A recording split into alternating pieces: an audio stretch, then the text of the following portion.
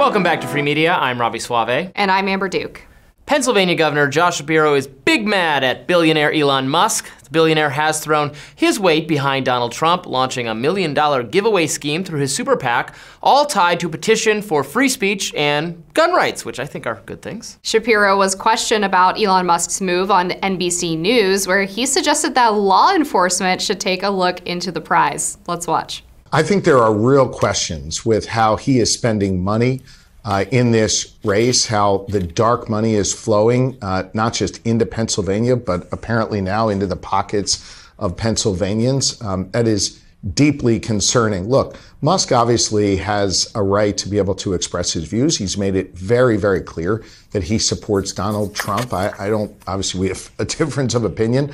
Uh, I, I don't deny him that right. But when you start flowing this kind of money into politics, I think it raises serious questions that uh, folks may want to take a look at. So you think it might not be legal, yes or no? I think it's something that law enforcement could take a look at. I'm not okay. the attorney general anymore of Pennsylvania. I'm the governor, uh, but it does raise some serious questions. His statements there were almost criminally vague, and I'm using that in a metaphorical sense because I don't think speech should be criminalized, unlike some people.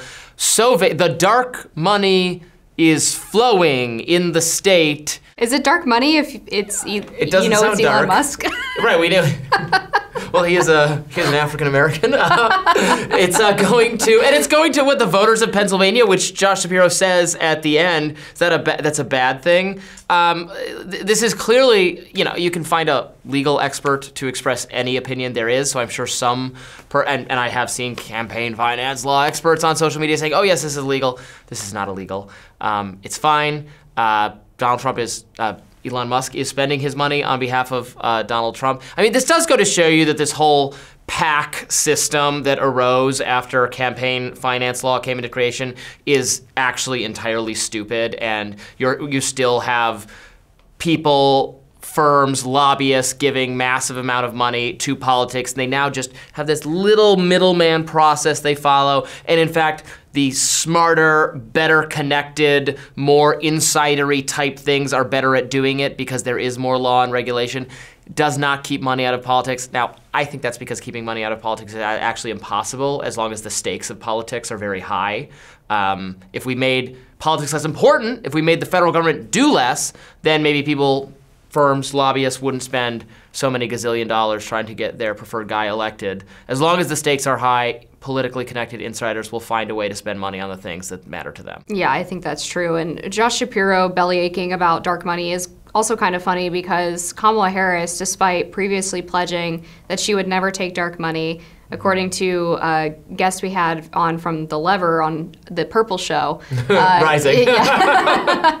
this is the Orange Show. That's the Purple Show. Um, she is taking all kinds of quote unquote dark money, which just means PAC money, right? Like right. It, people try to make it sound really scary. It's just people give donations to a political action committee, and because it's not directly to the campaign, their names are kept anonymous. Whatever, big deal. Who cares?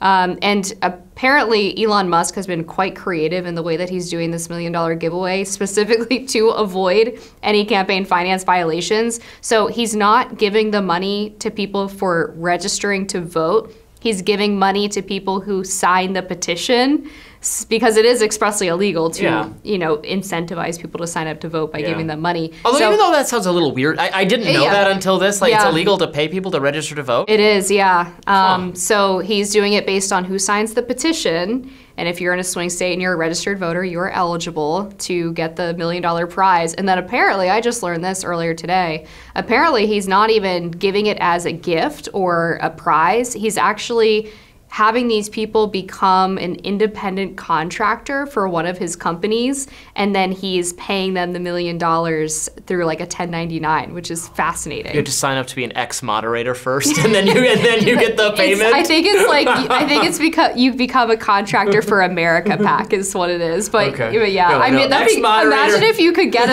spacex on your resume by winning a million dollars through the, the musk's really millions cool. right really i would cool. love that um, yeah, you know, you have to briefly become an ex-moderator, and then you get like a quiz, like Hunter Biden laptop story, publish or no publish. You hit no, like no, no million dollar giveaway for you. You failed this test. It's like a Willy Wonka who takes over the chocolate factory yes. kind of test, and you If you steal the everlasting gobstopper, you don't give the money. Um, yeah, look, Elon should spend his money. However, it's it's his money. Like that's Right. that when politicians get mad about too much money being in politics, I'm like, well, people are spending their money. I don't really care.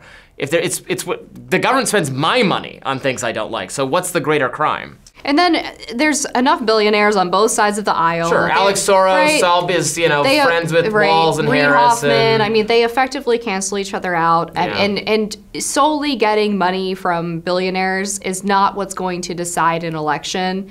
If anything, it's it's been proven not to be true because Democrats have outspent Republicans in basically every election for the past decade, and yet Republicans still win a lot of the time. Yeah. So the idea that money is driving politics, I don't think is accurate, especially in our current sort of populist era with Donald Trump uh, rising to the scene in 2015. Money can definitely help a candidate, a political unknown, raise their media profile. I mean, money definitely helps. But for but we're talking about people, Donald Trump, Kamala Harris, Joe Biden, who already have such exposure through the media, who get earned media, free media. Um, without having to spend money, that it, it it can only make a difference up until a point. I think it's I think it's its corrupting influence is in terms of elections is overstated. And at the end of the day, it is speech, and I philosophically believe that it is that m- these efforts to regulate it do run afoul of the First Amendment, as a majority of the Supreme Court.